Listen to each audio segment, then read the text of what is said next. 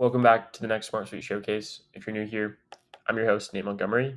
In this series, we share the ways that customers are using our platform. Today is going to deviate a little bit from the normal episode. The fact that instead of going into an example use case, I'm going to be sharing some documentation standards for new solutions that you're creating for your work, your team, or other teams. This video is meant to be a comprehensive guide to understand how to effectively set up your solutions, which includes some best practices of solution setup from customers that are really engaging with our product. If you'd like written documentation, you can also follow along with a link in the description below. We're going to start off with solutions at whole. Right now, we're in a project management solution that I downloaded from the template library.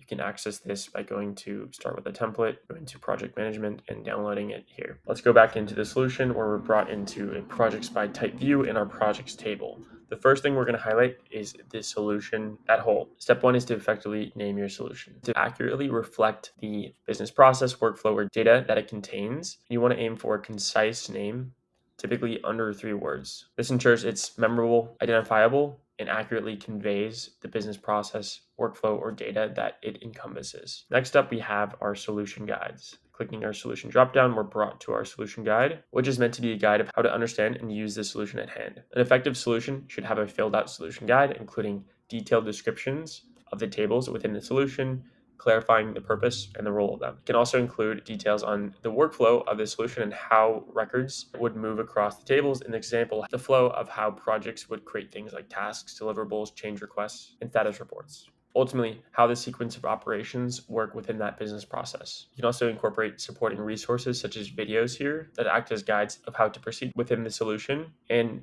examples of how various components function in practical scenarios when using the solution. Next, let's talk about tables, which hold information about one type of item. The table should accurately represent the item that is being tracked. Because tables can encompass multiple types of that item, this is generally meant to be not a specific name, and ideally this should be limited to less than two words. For example, projects, tasks, deliverable, change requests, status reports. Once you name the table, it's important to go down into the table drop down and go to this record naming where we are able to customize the record terminology for this table. Change this to project, we're able to see new project shows up here, which enhances clarity and relevance for users using this table in solution. Next up, we're going to move on to views within a table. A well-configured table should include at least six to 10 different views tailored to the nature of the items in the table.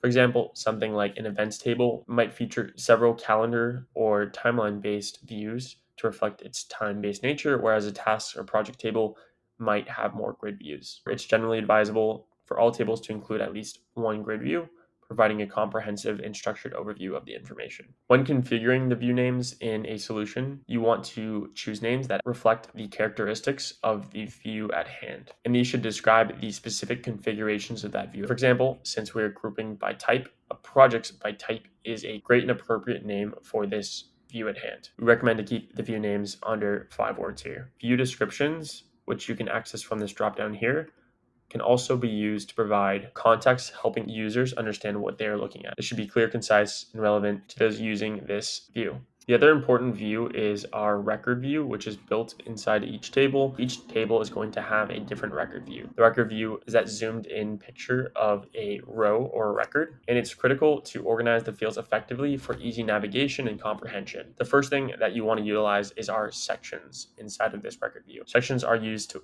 to break up the information in the fields within a record, and you can group fields within those sections and collapse them by default. A good setup will have general information at the forefront by placing the general and most used fields at the top of the record view, which includes things like the primary field, the status, and main details. Sections under that should be used strategically to bucket fields of information into relevant groupings. These should make sense in the fact that they guide the team throughout the information in a logical sense. Going into our section settings, our collapse by default setting can be used to maintain a clear and uncluttered interface for these record views that allows users to expand each section only when needed, helping them focus on specific information without being too overwhelmed. You also have the ability to customize the page layout. Going into our page settings, you'd want to pick the right page layout based on the nature of the fields in your record view. For example, if you have a lot of text heavy or qualitative information, a 70-30 layout may balance the information in a more sensible way. But if you have a very simple record view, a single column may be the best choice. The goal is to present the information in an efficient way. If there are some fields that are used for calculations and reporting that are not needed to be referenced by the general users, you can go into our fields and hide the fields from showing up in this record view. If you're trying to hide some of the calculations related to this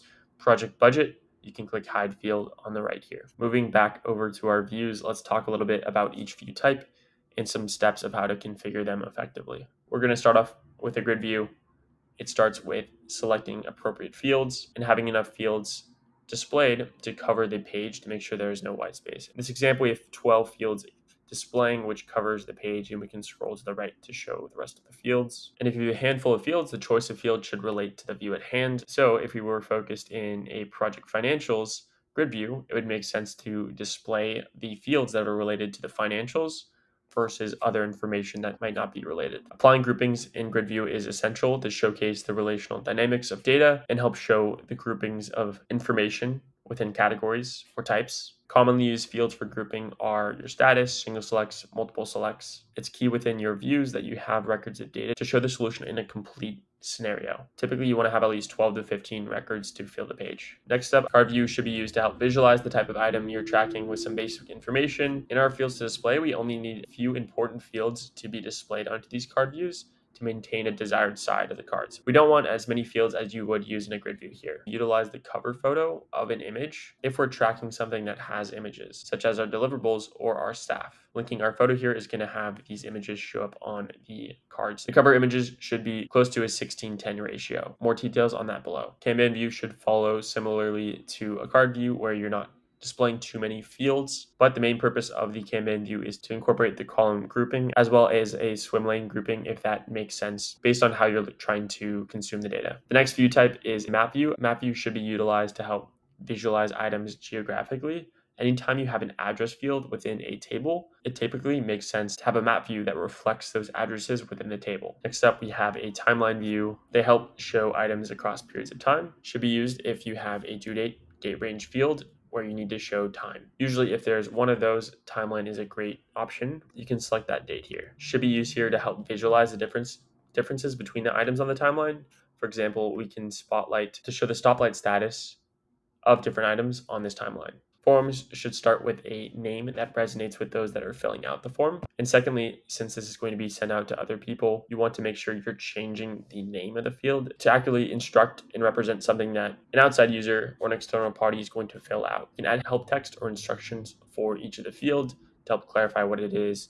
And you can customize the form's appearance by adding your logo, or adding sections and conditional logic. Moving back to tasks, we're going to look at a Gantt view now. If you have a dependency field inside of your table, you should be utilizing a Gantt view here to show the dependencies and the breakdown of the work across time. Once again, this spotlight feature of being able to select a field allows you to easily identify the color for the phases or tasks within this Gantt view. If you move to settings, you can choose to show dependency arrows, which show visually how dependencies work within this view, as well as task labels to show the names of the records that are showing up in this view. Next up, we're going to go into our chart view. We have a handful of different chart types, so each one is going to be used based on what exactly you're trying to accomplish. But some key things to note is whenever you're customizing the color scheme of your charts, we recommend using this second bar here. It's more visually appealing and to pick the right chart type based on the reporting you're type, trying to do. Specific chart details are going to be in the documentation link below check those out if you are interested. One other thing that also relates to charts is our dashboard because we can embed widgets or charts that go inside of this dashboard and you're looking at an example of exactly that. Dashboards serve as a central point for accessing resources, viewing charts,